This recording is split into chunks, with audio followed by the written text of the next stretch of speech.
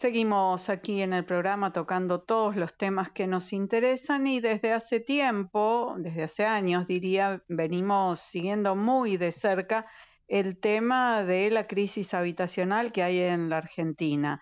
Y todo esto parece exacerbado por la ley de alquileres que fue reformada hace un par de semanas, 15 días, pero eh, no se logró un cambio radical, apenas sí eh, un achicamiento de los plazos de actualización de los valores del año a los seis meses. Vamos a ver cómo impactó eso en el, eh, en el mercado, para lo cual convocamos a un especialista. Está con nosotros Daniel Zampone, que es vicepresidente de la Cámara Inmobiliaria Argentina.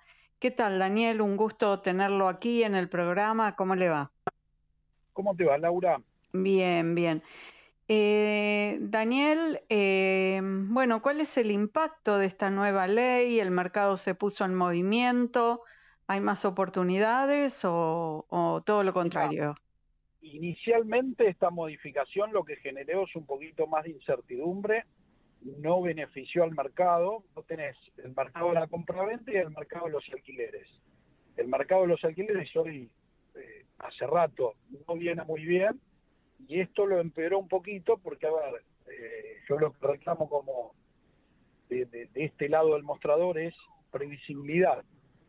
Cuando vos a, poquito, a ver, ayer tuvimos las elecciones, ahora tenemos un balotaje, vamos a ver dentro de poco quién es presidente cuando tenés una decisión tan importante, eh, generar una modificación en algo tan sensible como es la vivienda, como es el tema de, la ley de alquileres que no resultó, eh, yo la verdad que lo, si me hubieran preguntado, le hubiera dicho esperar un poco a ver quién es el, que va a conducir el barco.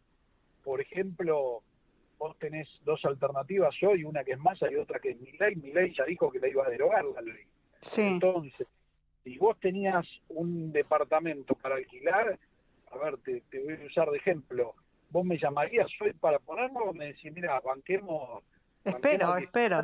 Eh, bueno, y sí, obvio.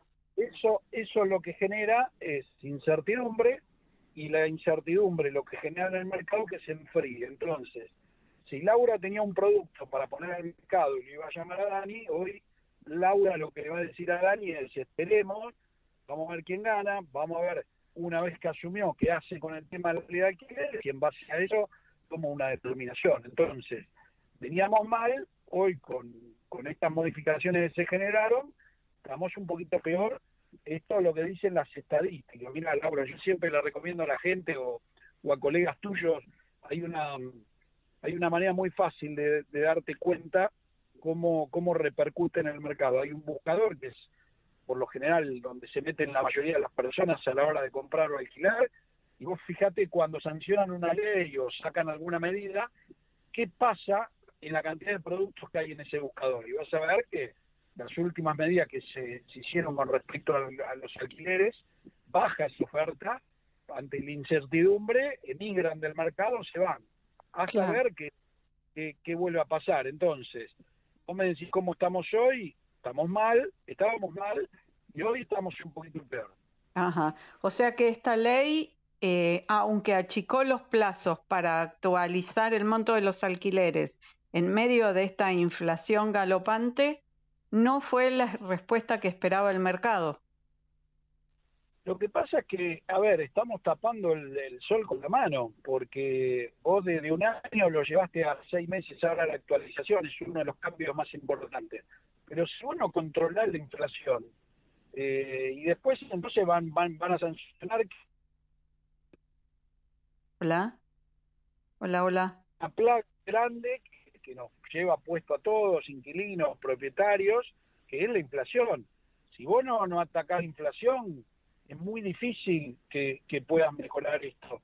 sí, eso como con Daniel, eso como una condición estructural para cualquier cosa de nuestra economía y de nuestra vida. Es decir, con esta inflación prácticamente no se puede vivir, no se puede programar, no se puede proyectar, no se puede hacer nada. Ahora bien, el que se tiene que mudar, se tiene que mudar. ¿Cómo hace? Mira, excelente la, reflexión que haces porque si vos me decís a mediano y a largo plazo que recomiendo, bueno, controlar la inflación y activar el crédito. Eso, un mercado que funciona.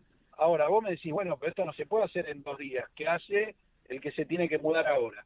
El que se tiene que mudar ahora, vos como Estado, lo que tenés que hacer es asociarte al privado, asociarlo, eh, que el privado, si Laura tiene un departamento, que Laura lo ponga a alquilar. Está bien que Laura no lo venda y emigre a otro mercado, sino que Laura lo ponga en alquiler, porque eso me va a ayudar a regular el mercado.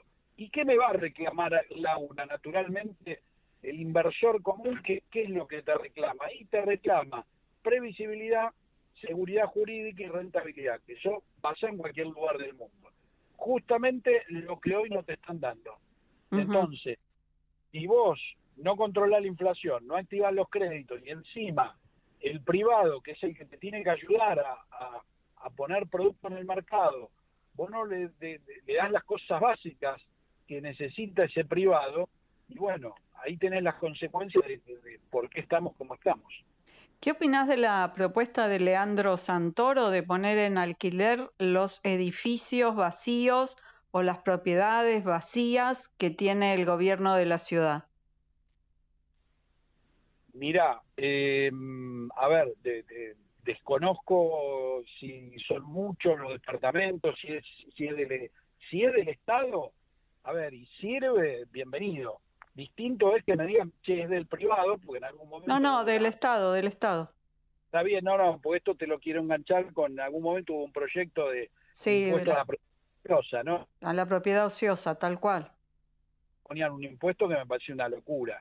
Ahora, y esto es del Estado, que está vacío, que se usa y puede sumar, la verdad que desconozco el estado que se encuentran esos inmuebles, ¿no? No sé si se pueden habitar o no, desconozco. Ahora vos me decís, mira Dani, son monoambientes y los ambientes que están en buen estado y, suman y hay gente que califica para alquilarlo, bienvenido, obvio. Bueno, pero la pregunta es, Vos me estás contestando del lado del propietario y yo te pregunto también por el inquilino, ¿qué hace la familia que se tiene que mudar hoy porque le vence el contrato? Eh, eh, los sueldos hoy están al nivel, los sueldos promedio, al nivel para poder acceder a una propiedad mínima, no sé, tres ambientes, si es que hay chicos en la familia que puedan compartir el cuarto. Es decir, ¿cómo, cómo resuelve esta situación una persona que necesita mudarse? Mira, hoy está complicado desde los dos lugares, porque el propietario, como te dije antes, en muchos casos opta por sacar el inmueble del alquiler, lo pone a la venta y se va a otro mercado, y esto perjudica directamente al inquilino, porque el inquilino sale a alquilar, primero no encuentra producto, después el producto que lo encuentra, lo encuentra caro, que es caro, que es barato, y de acuerdo al salario que tengas. Sí. Y, acá volvemos al tema inicial, el tema de la inflación cuando vos te la, inflación te va comiendo tu salario y todo te empieza a resultar caro. Entonces, hoy para cómo está el inquilino, como te decía al principio de la nota, hoy está un poquito peor que antes.